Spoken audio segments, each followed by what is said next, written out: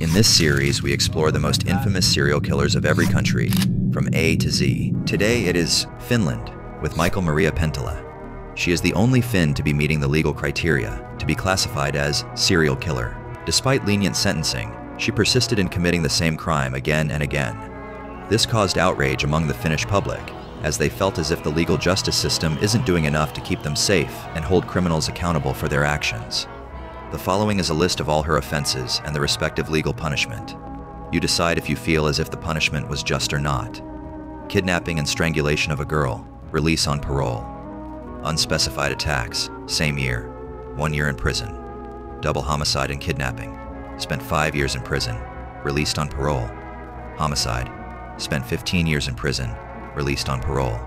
Rape and assault, spent four years in prison, released on parole. Homicide, life imprisonment.